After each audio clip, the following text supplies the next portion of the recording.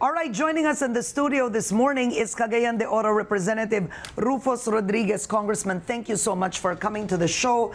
You've heard the speaker. Earlier, he said the Senate hearing was unconstitutional. He said now, What's the purpose for the Senate? Doing that, the House will do a better inquiry. But frankly speaking, did the House lose a big opportunity here? Yes, I believe uh, uh, we lost the opportunity. We abdicated and made a default on our powers. The sovereign power given by Congress, given by the Constitution to Congress, starting with the House on bills, on private bills, on the franchises. We have the constitutional provision which states that Congress shall be the sole power to grant, modify, alter, or repeal franchises. Now, the lower house has also acted yesterday, Congressman Alvarez, mm. uh, right before the Senate hearing on mm. Umagang Kay Ganda, actually mm. said that they'll be accepting position papers already. What does exactly that mean? I mean, in uh, legal parlance, when it comes to processes in Congress, it sounds easy, position papers of pros and cons. But frankly, is that the right Uh, process? the, the process is uh, that's really putting the, the cart before the horse because the, the I've been in Congress for 10 years. In Congress, it is first when there is a bill, the first hearing will be to hear the sponsors or the authors in their sponsorship speeches, wherein they will also explain why they have filed that bill. So therefore, uh, uh, it's quite, uh, you know, if you ask for position papers, when the authors have not been heard, there is no hearing, may not be the proper procedure at all. So what should it be first? Before- Hearing, it should be, there should be a hearing, Karen, and in that hearing, the 11 sponsors will give their sponsorship speech to make it already go forward in a process. That That- is why, and then hear witnesses and then ask position papers. Why then would you think would uh, Congressman Alvarez, who's heading the Legislative Franchise Committee, do this? Clearly, he is aware of the process too. Uh, because the, he, he is not calling for a hearing. That is the point. Uh, he has no intention to call a hearing, and so therefore uh, it will seem that uh, this is just a palliative to say that uh, the committee moves forward, but certainly it's not the proper procedure. You have, well, seven session days left. That's correct. Seven Yeah. days. Yes, seven so clearly, days. if I ask you, with seven session days, if the House wanted to, can you still hear? Definitely, because a committee hearing can be in the morning up to the evening, and so we can hear everybody in one day. And then after that, there can be a voting, and then the rules will, uh, if we, we if we assume that uh, it will pass in the House in the committee, it will now be set for calendar for discussions in the plenary. And in the plenary, we can also debate from three o'clock in the afternoon up to the late evening. And so it can be done. Seven days. So we, we would wish that the, the House leadership should now set the case for hearing and hear the witnesses, hear the sponsors, then hear the uh, resource persons, then sub, to submit position papers. That can be still be done at seven session days. All right. Yesterday, in yesterday's hearing, uh, one thing was clear. Justice Secretary Menardo Guevarra made it clear that because of a gap in the law, while a franchise is still being heard, that it can operate as long as a joint resolution is given.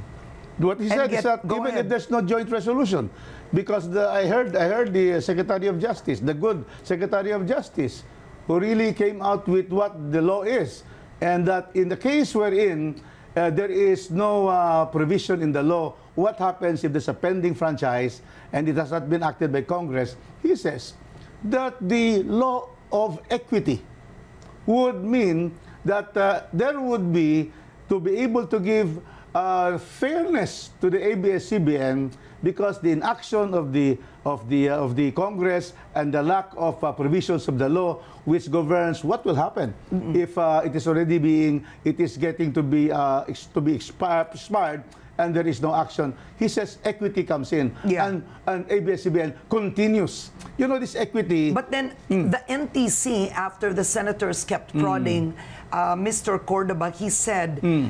for it to have a legal basis to stand on, he said in Congress that a joint resolution Hmm.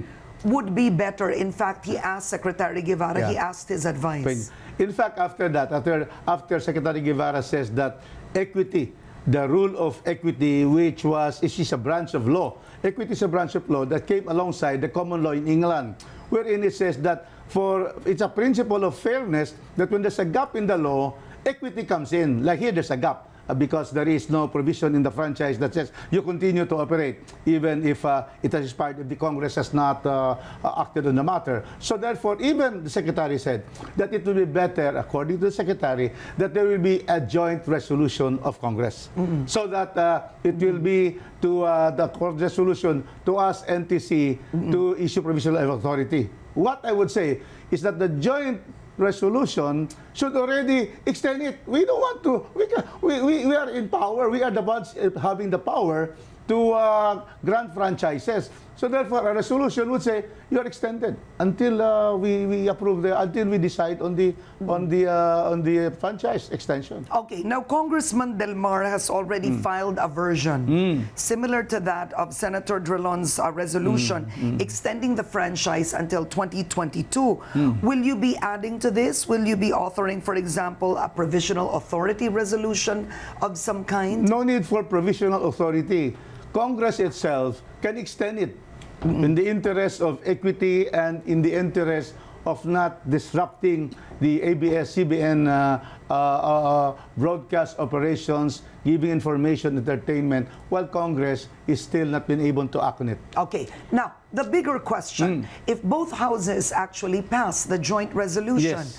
then the NTC, of course, issues, right? The provisional authority until 2022. Do we still need, or does that still need presidential signature to be law? Does the president still have to, pr- to provisional approve that, or or or can it just lapse? The, uh, the, as I have said, uh, there is no need to go to the NTC. Congress itself can extend because it has the absolute power Okay. and jurisdiction over franchises. It can do. But if you go to the provisional authority track, no need for the president to sign, including, uh, in the fact, our joint resolution will have to be signed by the president. Okay, so It that's has- the yes. key. You're Yeah, clarifying it now. I think this is important to Yes. clarify Yeah. that technically, after the joint resolution, Yes. you're saying hmm. you don't have to go to the NTC. No, no need, no need, No more. because the exclusive power, the sovereign power, has been lodged on franchises by the Constitution to Congress. So we can just really extend that. But then, when, the, when there's an approval uh, by, uh, this, by the House and the Senate, it goes to the President for signature. All right. Now, you're saying seven session days. If Congress really wants to, it can act on it. What should Congress do now, the lower house specifically? It should now call for a hearing immediately. The Committee on Legislative Franchise should be able to hear a hearing, have a marathon hearing, and decide if uh, there is uh, a, a, there should be a vote. If there is a majority that will deny it, then it kills the whole thing. No, but if it is in favor, what? Because you already hearing on have the bills, 11 bills. But then you already have Speaker Alan saying that clearly it won't be in the seven session days. He That's why we appeal, yeah. we appeal to the Speaker. There is still time. We, there will be a lot of complications if it is not, uh, it is not uh, uh, renewed on May 4. The new date now is May 4 because the Secretary of Justice said, it's right, that it is uh, 15 days after publication. So the 15 days after publication, April, April 19 is May 4. So therefore, we have to do that before May 4, and we have only seven days, but it can still be done, really, if Okay. that is... Uh, now, how did yesterday's Senate hearing, and if a joint resolution is passed, how does this affect the quo warranto petition of uh, Solicitor General Kalida? Well, what came out in the Senate yesterday was clearly that uh, the co warranto petition of uh, Solgen Kalida has no basis in fact and in law. First, as to the uh, as to the uh, alleged uh, no permit or the uh, illegal uh, ha- having the KBO and other programs, the Secretary of Justice he really stated in that hearing that your franchise of ABS-CBN for broadcast is encompasses all other kinds of uh, programs because your franchise is for broadcast for commercial purposes. And that is why clearly if you ask Secretary of Justice which I, who I- whom, to whom I agree about the need to get a permit for the KBO. There's no more need for any permit to do that because that is part of the franchise. But in fact, Because of the interpretation of Secretary Guevarra, Guevarra. on commercial purposes, Commercial right? purposes, yes. Okay. And then secondly, so therefore, there's no violation in the NTC. Now, granting, as it came out in the hearing, granting that there was a violation because there was no IRR yet at the time, and, you, and the ABS already uh, came out with the uh, KBO. The point is that, according to Commissioner Cor- Cordoba, the, the penalty will only be 200 pesos per violation. They cannot cancel per, uh, uh, cannot cancel franchises. They cannot stop franchises. They cannot freeze franchises. So therefore, that, that's the that's that's the only penalty of 200 pesos per violation. That's very clear. So therefore, there is no basis to ask for a repeal in the Supreme Court on that. Number two, on the PDRs, on the Philippine Depository Receipts. Clearly, uh, Commissioner Amatong said that the state of the law in 1999, when the uh, PDRs of ABS-CBN was offered to the public, there, was at the time the state of the law was that PDRs are not ownership of shares, or not no, not, it's not ownership of any corporation. In the case here, ABS-CBN. So clearly, the state of the law in 1999. Therefore, it was a valid uh, issuance by the ABS-CBN of PDRs. Now, according to Secretary Amatong, uh, Commissioner Amatong, he says that later on there were cases in the Supreme Court that would uh, also provide that there should be some uh, determination of beneficial ownership. But then, if that is the case, then the, uh, the SEC should have advised the uh, ABCBN to correct it, not to uh, repeal the franchise. So again, Secretary, uh, Solicitor General Scalida's uh, PDRs has no basis. And third, on the non-payment of taxes, we have there uh, Mr. Kabantak, the head of the large uh, taxpayers audit uh, unit, saying that ABS-CBN every year has been religiously paying all the taxes. And so therefore there is no arrear. So therefore on all of this uh, of this uh, basis for uh, uh, the uh, current petition of uh, Calida, it was they were all debunked, debunked in that hearing where the responsible officials have already said that the ABS-CBN has not committed any violation. NTC, SEC, and then BIR and the Department of Labor. So that is what we have. Now, on that very fateful day, actually, is ABS-CBN also submitted its reply to the Supreme to, to the Supreme Court. yeah. What happens after this? I mean, clearly, ah. there one would think that there's more basis for the Supreme Court to dismiss the petition. Yes, uh, after the uh, the uh, submission yesterday by ABS-CBN of its answer to the petition of SolGen Calida, the Supreme Court now will determine whether it has it, it will decide to give due course or not, because the order for the uh, ABS to uh, submit its answer it always states that states there in the order without necessarily giving due course to this petition you are made to answer. Now, with this uh, filing now, and of course the justices will read the submission of the ABS-CBN, compare it to the petition, I am confident. Plus the fact that yesterday the responsible officials already stated that there were no violations, I am confident that the Supreme Court will dismiss this case and not proceed and not to give due course to the petition of Soljan Kalida. But would it benefit, frankly, the House if it heard the case? I mean, the renewal Yes. issue, even now before the Supreme Court Yes. issues a decision. It would be really be better because, uh, as I have said, we are practically abdicating the power, sovereign power, given by this, this Constitution to us in Congress. And that is why uh, now uh, it will be the Supreme Court that will say it. It should be the Congress doing its act and having hearings and decide to renew the franchise of ABS-CBN or not. Okay. Malacanang has repeatedly said in the past the president has nothing to do with the renewal of the franchise. it's Congress alone.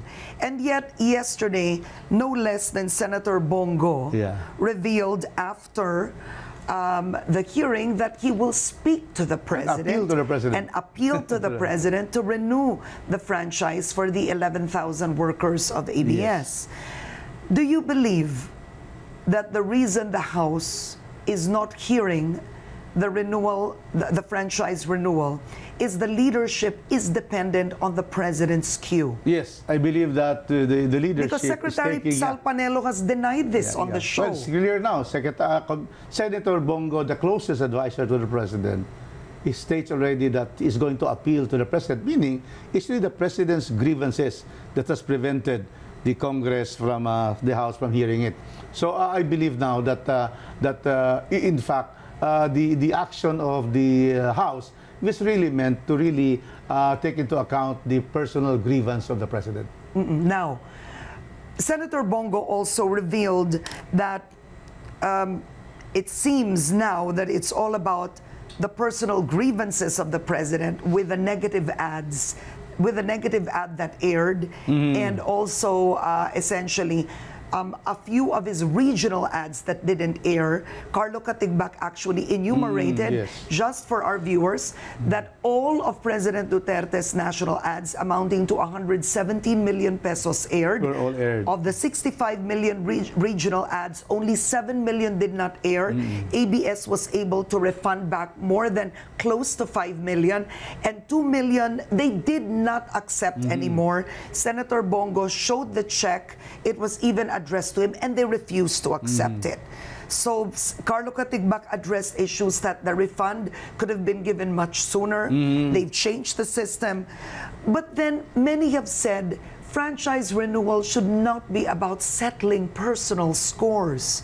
Did you do you see this after I, uh, yesterday's hearing? And uh, Is the- this a settling of personal score? I believe that uh, since uh, Carlo Katigbak on behalf of ABS-CBN has apologized to the president, it was uh, it, it was therefore the, the president have some reason to have some personal grievances because precisely the airing of that uh, advertisement and the non-airing of uh, uh, of about uh, seven million of his ads. But the point is that then we have to go to the higher level of the constitutional freedom of the press and freedom of expression because the ABS-CBN is a platform for freedom of expression. So these are the two fundamental rights which should go higher than any grievances that we have. And uh, I'm very glad the secretary uh, that that the senator Go will ask for the to appeal to the president. How I, I, I also appeal that the president already would uh, take that apology and uh, be able to to have the hearings already continue. Yeah. I wish we had enough time, Congressman. I mean, I have two guests today, but just to close, what would you want the House to act on? I mean, clearly, it seems to be doing a catch up Yes. after the Senate hearing, frankly. Uh, two things. Uh, we try, the House should now set the case for hearing and have it approved so that, uh, and have the voting, and it's, if it's approved, it goes to the, to the plenary and then to the Senate. It can be done in seven days, in seven session days.